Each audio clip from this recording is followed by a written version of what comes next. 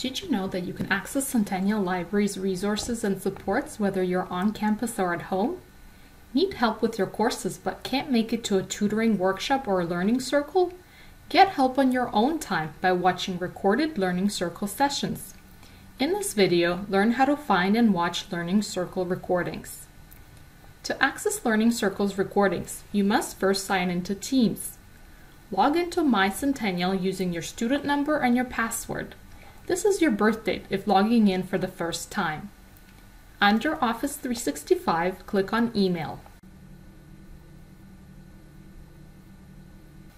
Click on the waffle icon on the top left above New Message. Select Teams from the waffle icon pop-out menu. Teams will open. Click on the Teams icon on the left of the page. Click on the Virtual Learning Center icon from the Teams menu.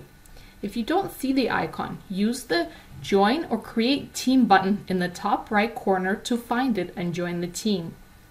Under Virtual Learning Center, you will see a list of subchannels, including several with course numbers that say Learning Circle. Click on the desired course.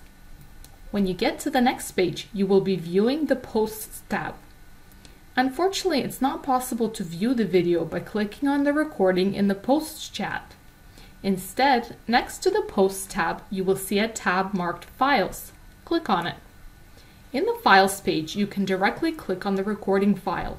In this case, they're in a separate Recordings folder. Click on the folder, then on the desired recording.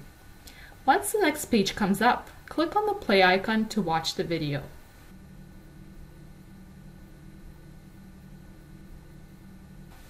Now you know how to find and watch past Learning Circles recordings. And to learn more about the amazing resources Centennial Libraries has to offer, check out our other videos on our YouTube channel and be sure to like and subscribe. Centennial Libraries, we're here.